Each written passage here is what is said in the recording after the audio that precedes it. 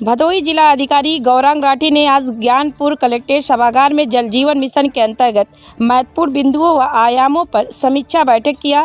बैठक के दौरान जल जीवन मिशन योजना की सभी महत्वपूर्ण घटक intake well W T P C W R S T raw water rising main clear water rising main new distribution network इत्यादि कार्यों के आधार पर कार्यदायी संस्थाओं के द्वारा कराए जाने वाले कार्यों के प्रगति की बिंदुवार समीक्षा की गई तो वहीं बैठक में ज्ञानपुर कलेक्ट्रेट सभागार में डीएम गौरांग राठी ने संचारी रोग नियंत्रण व अभियान के तृतीय चरण की जिला स्तरीय समीक्षा बैठक ली, चेताया कि संचारी रोग नियंत्रण में किसी स्तर से लापरवाही की शिकायत मिली तो कार्रवाई होना तय है। संक्रामक बीमारी से बचाव को जन जन को जागरूक होने की ज़रूरत है।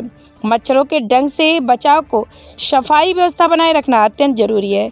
संचारी रोग व दस्तक अभियान को सुचारू रूप से क्रियाशील किए जाए। डीएम ने विभागीय अधिकारियों को निर्देश दिए कि गतिविधियाँ व रिपोर्ट को फ़ोटो व वीडियो विभागीय व्हाट्सएप ग्रुप पर प्रेषित करें। चेताया कि इस कार्य में किसी स्तर से लापरवाही की शिकायत मिली तो सख्त कार्रवाई होना तय भदोही से धनंजय राय की ब्यूरो रिपोर्ट।